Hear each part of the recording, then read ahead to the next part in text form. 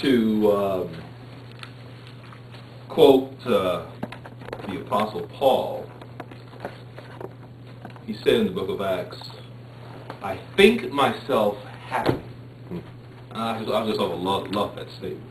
I think myself happy because today's message will hopefully bring an end to premeditation, will bring an end to discontent, dissatisfaction, worry, anxiety, Thank you, Lord. doubt, fear. Thank you, Lord. That's a tall order.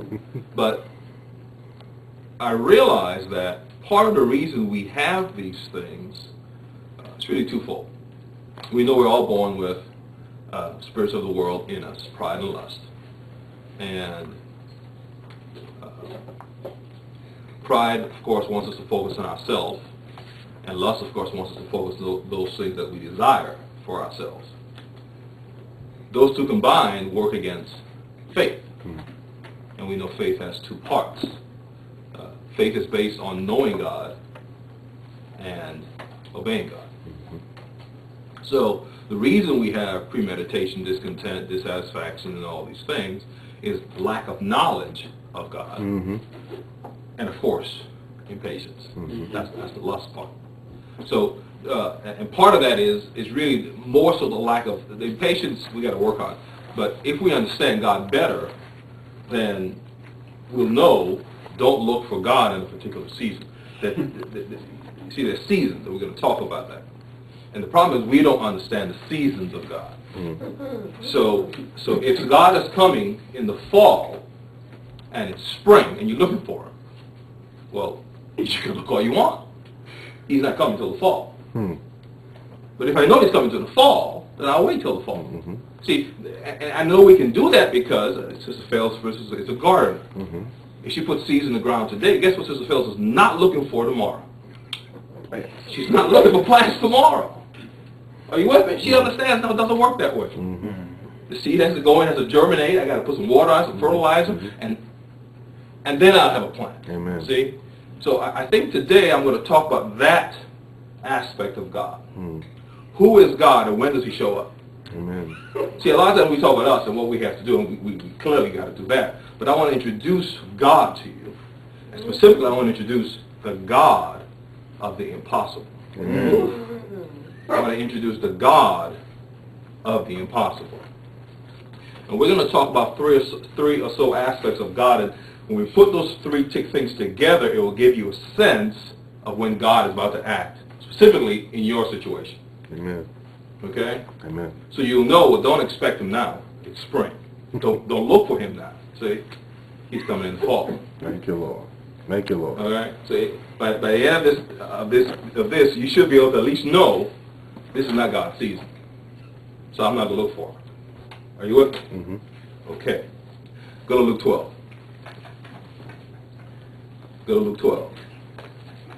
And in some sense, Marcus touched on this when he dealt with the power of being still. And we actually can go back and relook at one of those uh, Exodus um, 14. And I want to point out, really, there's like one verse that I want to point out uh, that he didn't cover, but it, it weighs in on when does God act? When does God act? And that, that's going to be ultimately what we want to find out. So if I understand when God acts, I'm not looking for him before that. In Luke 12, verse um, 54 through 56, Jesus is speaking and he said, um, he's speaking to the crowd, he said also to the people, when you see a cloud rise out of the west, straightway you say, there cometh a shower. And so it is. And when you see the south wind blow, you say, there will be heat. And it cometh to pass. Ye hypocrites, you can discern the face of the sky and of the earth, but how is it that you do not discern this time? As Christians, we should know the Father so intimately, we aren't expecting him when he's not going to show up. Hmm. We expect him when he is going to show up. Mhm. Now, you may be sitting there saying, well, but I, but I thought, no, well, yeah, there's aspects of God we, will, we don't know when he's going to act. But the aspects of him that I'm going to introduce today, we do know what he's going to act. So for those situations, Wait till he's coming. Wait till he's coming. Don't be impatient now. You can be as impatient as you want. You can fret as much as you want. If it's not the season for him to show up, he's not showing up. Hmm. So it's really a waste of time to spend that energy if it's the wrong season. Hmm. Just like it'd be a waste of time for Sister Fails to go out the very next day looking for the fruit. Mm-hmm. It's just not the season. Mm-hmm. Are you with me? Mm-hmm. Um, look at Ephesians.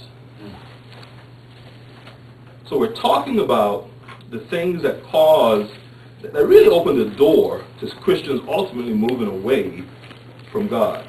Premeditation, worrying about tomorrow. We're commanded not to uh, uh, focus on tomorrow. Discontent, dissatisfaction, worry, anxiety, doubt, fear. All these things take us away from the Lord. And for the most part, all these things occur because we really don't understand God. Uh, in Ephesians 4, verse 17 and 18, this is a addition to what we just read in Luke 12, it says, This I say therefore and testify in testifying the Lord, that you henceforth walk not as other Gentiles walk in the vanity of their mind. Mm-hmm. See, if I walk in the vanity of my mind, then I do have premeditation. I do have discontent. I do have this